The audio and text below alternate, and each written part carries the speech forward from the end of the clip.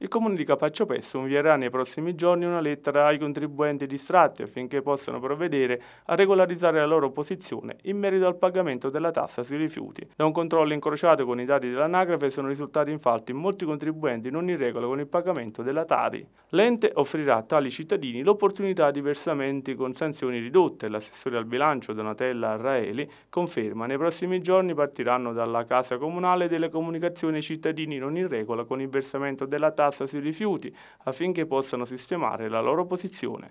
Per fare ciò daremo anche la possibilità di usufruire del ravvedimento operoso.